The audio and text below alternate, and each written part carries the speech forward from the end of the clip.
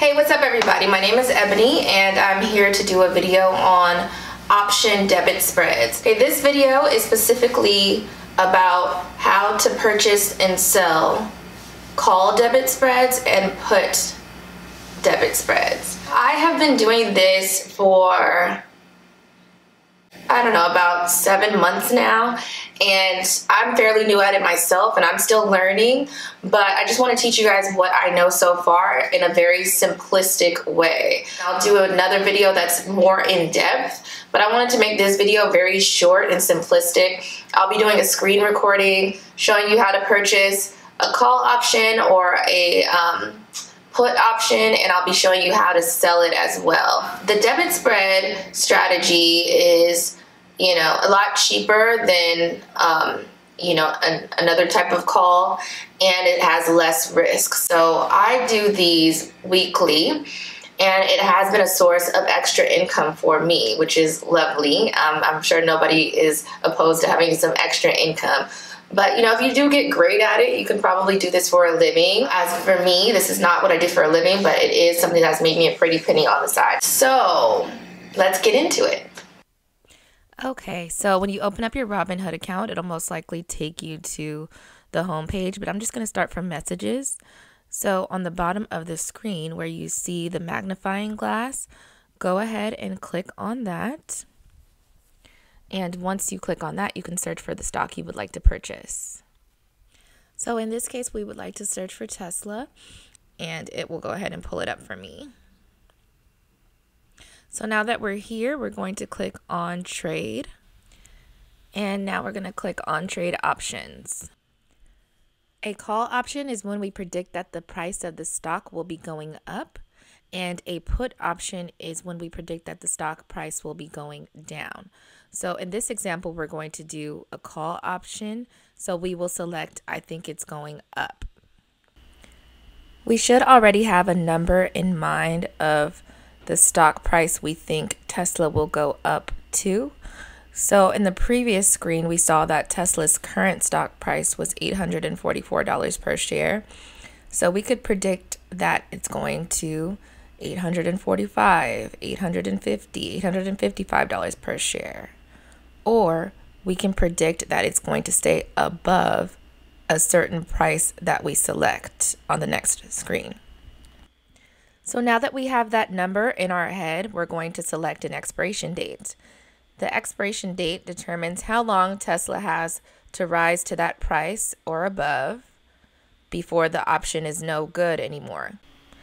So we're going to select the date January 29th and we're going to make sure that call is selected on the right and make sure that buy is selected on the left underneath the expiration dates. Then go ahead and click on select in the upper right corner and those bubbles on the left will pop up. So these are all the options we have available to us expiring on January the 29th. There will be a line showing the current share price in the middle of all the options that are available to you that expire on the date that you selected. The current share price is $846.77. The call prices below the current share price are called in the money calls, and the call prices above the share price are called out the money calls.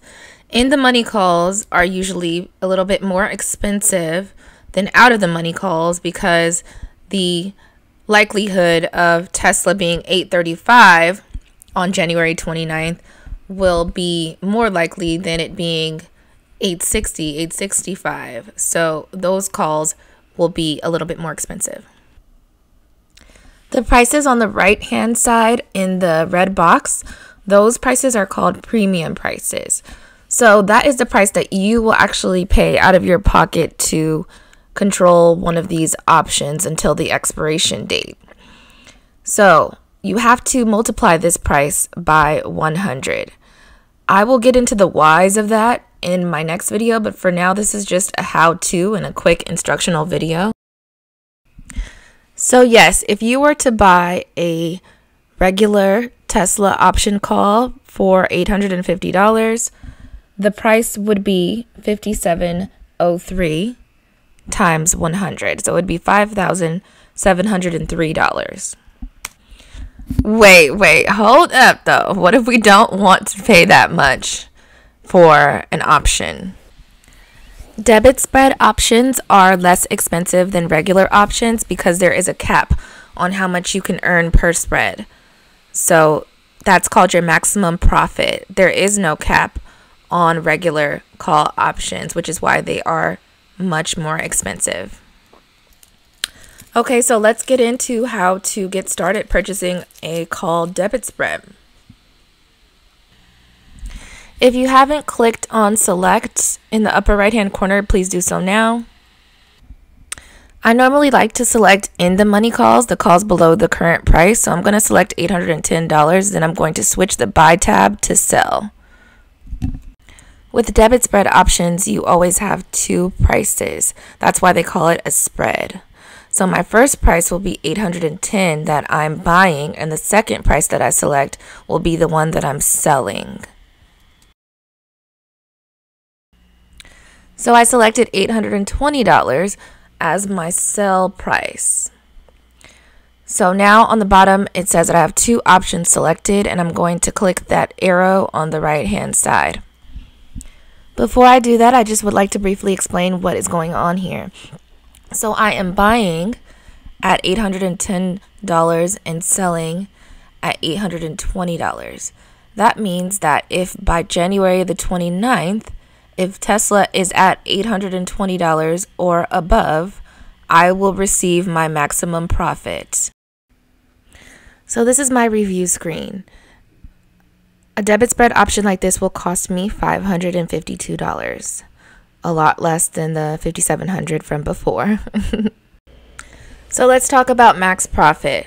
So the maximum profit that you could receive from a debit spread like this would be $448 you will find the difference between both of your strike prices and then subtract the average cost per contract from that and then multiply that number by 100 and that's how you'll get your max profit in any call debit spread. That's what you'll do. And if you have multiple contracts you will just multiply your max profit by however many contracts you have. So if you bought three, then you multiply your max profit by three. If you have two, multiply by two. If you just have one, then that's just going to be what your max profit is. So it'll bring you to this screen. And now you're going to type in how many contracts you want. So if I just want one, that's what I'll type in. Notice that the numbers are, will keep changing as the stock price fluctuates. And that's how much it would be if I bought two. So you could buy as many as you please. Um, these prices, they vary um, with the expiration date you choose or the difference between the stock prices you choose or how in the money you are versus how out the money you are. So you can play around with it and find a price that you're comfortable with paying. In order to actually purchase this debit spread, you'll have to enter in a bid price in the limit price box.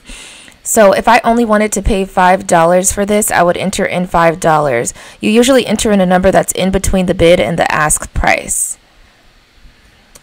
Before I entered that $5 into the limit price box, there was already a price there that is the suggested price you buy this option for. If you would like your order to be filled right away, I would suggest going 10 or 20 cents more than that suggested price that they already have in the box. Otherwise, if you only want to pay a certain amount, then only put that and you'll just have to wait all day to see if it will actually get filled. So if my limit was $5, then that means I only want to pay $500 per contract. So if the average asking price is more than $500, then I would not get my order filled until the price dropped to that point. What you can do is click on replace order and go back to that screen and enter in a higher bid price, like $5.30 or $5.40, and see if it gets filled then. After you hit review and then you swipe up to submit your order, If it is going to be filled, it will say quantity one of one or two of two, however many ordered, instead of zero to one. If it says zero to, of one, then you did not get your order filled. To sell the option is basically the same as buying it, except you're going to click on close. Then you click on, well, you type in how many contracts you want to sell.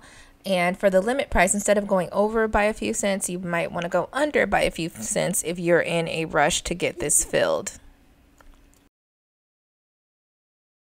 We will go ahead and do a separate video for puts um, since this video is getting kind of long and I don't want to overwhelm you guys. So I'll do a separate video for puts.